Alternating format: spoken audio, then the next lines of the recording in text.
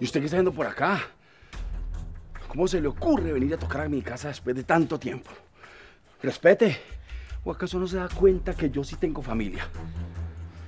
Don Pedro, por favor, ayúdenos. Mire que estamos aguantando hambre.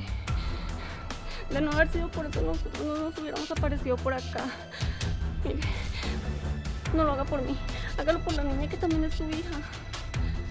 ¿Acaso yo la mandé a que tuviera muchachitos? ¿Y acaso es culpa mía de que ustedes estén aguantando hambre? Además, ¿a mí quién me asegura que esa culicagada sea hija mía?